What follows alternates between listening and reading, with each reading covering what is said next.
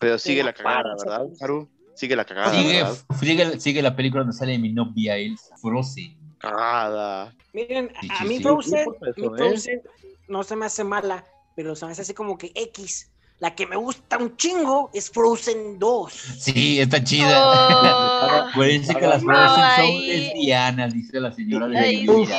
Me caga, Olaf, me caga mucho la fe, la verdad. A mí, a mí Frozen 2 ahorita ya más mermada y con más tiempo no me parece terriblemente mala, eh, pero aún así detesto la forma en la que manejaron a Ana, detesto la forma en la que como que todo es tan conveniente y, y toda esa huevona de el agua tiene memoria eh, y que todavía y que la explicación y que la explicación de por qué Elsa tiene poderes es culísima es como de ah no Ah, pues la mamá la mamá de Elsa una vez trató bien a los espíritus ah no pues sí vamos a darle poderes a una de las hijas y a la otra Y no a la otra no. codo. sí como la otra que chupe codo no o sea huevón yo pienso que Frozen 2 pudo haber tenido el conflicto en que Ana se hubiese sentido inferior a Elsa en ese sentido y que el conflicto hubiese sido ese, que hubiesen puesto a prueba la relación de las hermanas como en plan de porque Elsa recibió poderes y yo no, porque Elsa tiene que ser la elegida y yo no,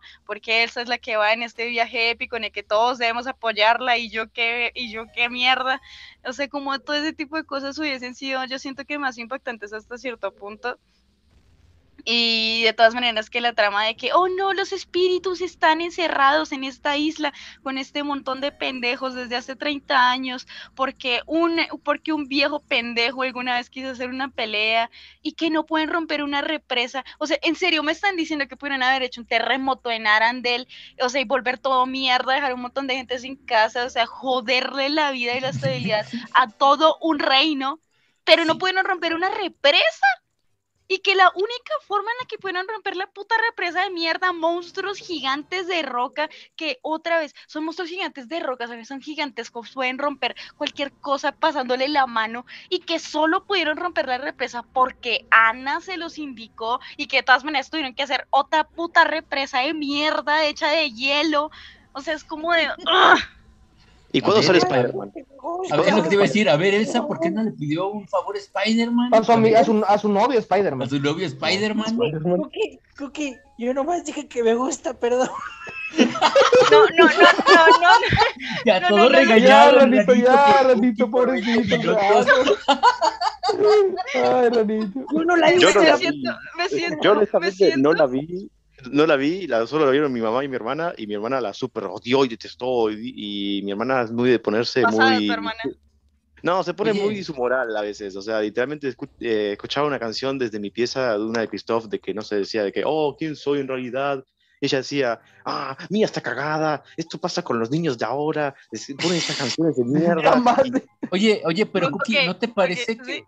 ¿no te parece Hermana, que, hermana, que, eh, es- que hermana, esta no, película, aunque fue así, lanzamiento para cines y todo, se siente como las que lanzaban para video de, de, Sí, de sí, secuelas? tiene o sea, así como sí, de, tiene como esa ah, vibra. Y sobre todo, o sea, tiene esa Mulan 2. vibra.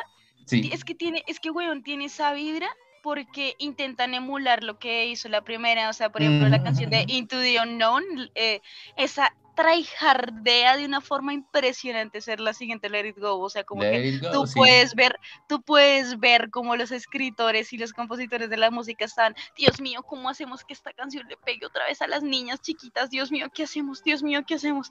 O sea, tú sientes el desespero. Eh, y, y que, y entonces esto, además de eso, está la mierda de que esto, o sea, la, la, la, la- la historia, la historia igual es cool, o sea, la historia es muy cool y entonces esto, eh, esto que, además que, Ah, muy bien Eh, Ramírez, muy bien Ramírez. eh, esto que eh, al final, al final que al final, pues esto realmente lo positivo para mí es que el diseño de Elsa, el diseño final en el que se suelta el pelo y tiene como este vestido así blanquito, me parece bonito, o sea, Elsa se ve preciosa, no voy a mentir. Y Ana cuando, y Ana cuando es reina de vale.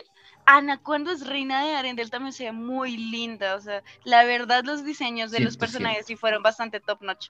En eso, en eso sí, en eso sí voy a dar pie con bola. Pero, en fin, perdón si los eh, hice sentir regañados. Me No, siento ¿Ya te sientes como- mejor, Ranito? me siento- No, tranquila, siento- a mí me chupó un huevo. me siento- O sea, Estamos jugando, siento- estamos jugando. Me siento, me siento como, me siento como la imagen de, de Ren, de Ren y Stippy que les está gritando. Y por eso, Browser, no, sí, Browser es una mierda. Mira, por lo menos no, La llegó acá en modo de. ¿cómo te atreves a decir que esa cagada es buena? Es sobrevalorada y cliché. Es sobrevalorada y cliché. Y Ana no tiene los dif- eh, no tiene la personalidad de un papel. Me parece que es bastante, de, bastas- bastante patética. Ah, alta. Te ¿en serio? Pero mírenle la carita, me bajé cinco veces. Solo Diez, la carita. Elsa.